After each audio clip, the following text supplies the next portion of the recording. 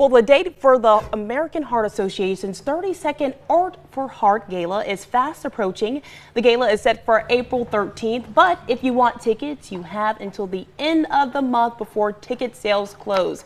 Joining us this morning to talk all about it is Tonia Turner and Marlo Webb, the chairs for this year's Art for Heart Gala. Thank you all so much for joining us Thank this you early for having us. Absolutely. Good Now, this is a really, really big fundraiser for you all. Talk about that. It's huge. The American Heart Association Gala within Baldwin County is celebrating its 32nd birthday, but it's also the 100th birthday nationally for the American Heart Association.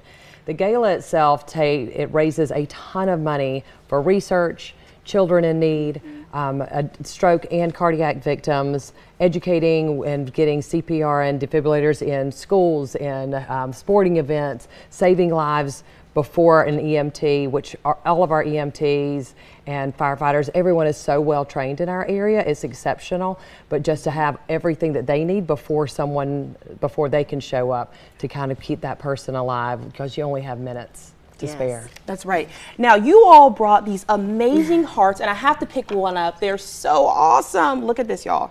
So, Yeah. talk about what these are, who painted these, and what they're for. We had a group of eighth grade young girls that spent their afternoon painting for us. These art pieces were from Hawaiian Fluid Art in um, Gulf Shores.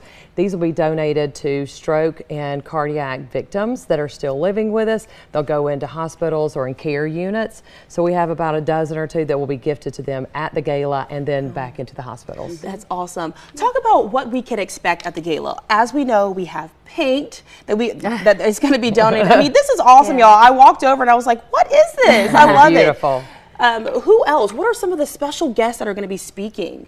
Well, we of course have your wonderful Roseanne Haven that will be helping us. We do have an auctioneer, um, live auction, um, some great art pieces, some fantastic trips, golfing outings.